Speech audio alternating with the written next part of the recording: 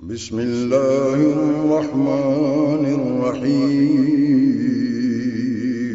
شروع اللہ کے نام سے جو بڑا مہربان نہایت رحم والا ہے۔ بلے بلے بلے بابئی بلے بلے بلے ہویا مولا دا کرم مائے شاہ امم خاکی بولے دے بہم بابئی بلے بلے بلے بابئی بلے بلے بلے۔ سونے آقا بے مثال سونے رب دا جمال۔ حسن یوسف دی قسم۔ بابئی بلے بلے بلے بابئی بلے بلے بلے۔ ہویا مولا دا کرم مائے شاہ امم۔ خاکی بولے دے بہم بابئی بلے بلے بلے بابئی بلے بلے بلے۔ ابراہیم خلیل اللہ دی ہوئی اجمل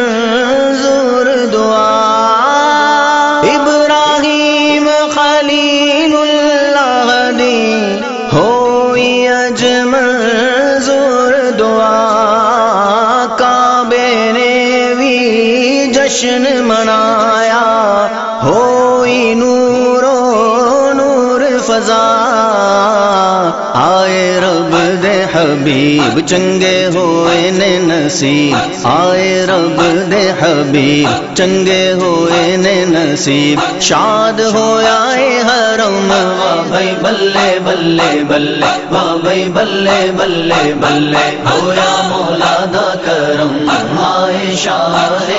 امم، خاکی بولے دے بہم بھائی بلے بلے بلے بھائی بلے بلے بلے۔ سونے آقا بے مثال۔ ایک کتاب ہے دلائل الخیرات، جس کے رائٹر لکھنے والے حضرت محمد بن سلیمان الجزولی رحمہ اللہ تعالی علیہ ہیں۔ آپ نے یہ کتاب لکھی جو ساری کی ساری درود و سلام سے بھر دی۔ آپ سے کسی نے پوچھا کہ حضرت آپ کو کیسے خیال آیا کہ آپ نے ایک ایسی کتاب مرتب فرمائی کہ جو شروع بھی درود سے ہوتی ہے اور ختم بھی درود و سلام کے گجروں پہ ہوتی ہے؟ آپ نے فرمایا، حضرت، میرے ساتھ ایک واقعہ پیش آیا۔ میں نے ادھر کھڑے کھڑے رب کائنات کی عزت کی قسم اٹھائی کہ ایسی کتاب لکھوں گا جو ساری کی ساری درود و سلام سے بھر دوں گا۔ کیا واقعہ پیش آیا؟ کہا، لوگوں میں گھر سے نکلا، ایک علاقے میں پہنچا۔ وقت اثر ہو چکا تھا۔ نماز اثر ادا کرنی تھی اور اس سے پہلے وضو تازہ کرنا تھا۔ وضو کرنے کے لیے میں پانی کی تلاش میں نکلا۔ میں چلتے چلتے ایک کنویں کے پاس پہنچا، جہاں پانی تو موجود تھا، لیکن ڈھول اور رسی نہیں تھی۔ میں وضو کیسے کرتا؟ پانی نکال کر۔ اسی اسنا میں کہتے ہیں میں پریشان کھڑا تھا۔ لوگوں کنویں کے ساتھ جڑواں کسی غریب کا کچا سا مکان تھا اور اس مکان کے چھت پر سات سالہ ننی سی بچی کھیل رہی تھی اور جب اس نے مجھے دیکھا، مجھ سے مخاطبہ کیا من انتا وہ چاچا، تو کون ہے؟ محمد بن سلیمان جزولی کہتے ہیں میں نے کہا بیٹی انا محمد بن سلیمان الجزولی رحمہ اللہ تعالیٰ نے، میں محمد بن سلیمان الجزولی ہوں۔ اور وہ کہنے لگی چاچا کیوں پریشان کھڑے ہو؟ میں نے کہا، بیٹی، میں نے وضو کرنا ہے، پانی تو موجود ہے کنویں کے اندر، لیکن کنویں میں ڈھول اور رسی نہیں۔ اس اسنا میں پریشان ہوں۔ اس بیٹی نے میری طرف دیکھتے ہوئے تعجب سے ایک عربی کے اندر فصیح جملہ بولا۔ کہنے لگی، انت الذی یسنا علیک الخیر، وانت تتخیر بما تخرج بالماء من البئر او چاچا، تیرے نام کے ڈنکے تو مصر کے کوچاؤ بازار میں بج رہے ہیں۔ اور تیری ولایت کے شوہرے کوچاؤ بازار کے مصر کے گلی گلی میں گونج رہے ہیں۔ اور ایک تم ہو کہ آپ سے کنویں سے پانی نہیں نکلتا۔ محمد بن سلیمان جدوری کہتے ہیں، بیٹی، میں نے کہا ہے، پانی تو موجود ہے، لیکن ڈھول اور رسی نہیں۔ میں پانی کیسے نکالوں؟ اس وقت اس بیٹی نے کہا، وہ چاچا میں بتاتی ہوں کہ کنویں سے پانی کیسے نکالتے ہیں۔ خدا کی عزت کی قسم، محمد بن سلمان الجزولی رحمہ اللہ تعالی کہتے ہیں کہ اس بیٹی نے گھر کی چھت سے بیٹی نیچی نہیں اتری، بلکہ اس نے گھر کی چھت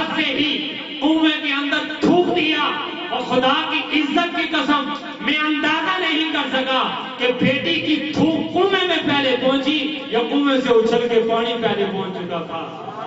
اس وقت بیٹی جس وقت یہ کارنامہ دکھایا محمد بن سلیمان کہتے ہیں کہ لوگوں مجھے تو وضو بھول گیا، میں نے ہاتھ جوڑ لیے۔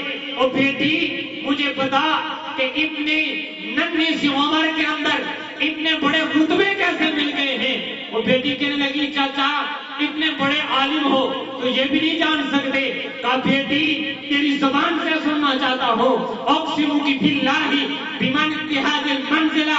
اور میں بیٹی، میں خدا کی عزت کی قسم کہہ کے کہہ رہا ہوں کہ تیری زبان سے سننا چاہتا ہوں اس کا بیٹی نے کہا، اے میرے چچا، اگر میری زبان سے سننا چاہتا ہے تو پھر سن۔ میری چھوٹی عمر نہ دے، چھوٹی عمر میں یہ بھیج دے۔ بھی کثرت سلادی علن نبی جی۔ اور چاچا، میری چھوٹی عمر نہ دے۔ اس چھوٹی عمر میں ہر لہجہ ہر لمحہ یہ بھیج دے کہ میں چھن چھن کے اپنے نبی کی ذات پر درود و سلام پڑھتی رہتی ہوں۔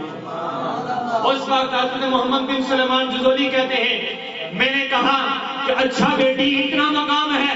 بیٹی بول پڑی، اور چاچا، اتنے کریم نبی ہیں کہ اذا مشابل بھرل اکثر تعلقت الوحوش بھی ازیالی وہ اتنے کریم نبی ہیں۔ اگر وہ جنگل کی طرف بھی چل دیے جائیں، تو جنگلی وحشی جانور ارے جنگل چھوڑ کر بامڑے رحمت سے لپٹ جایا کرتے تھے۔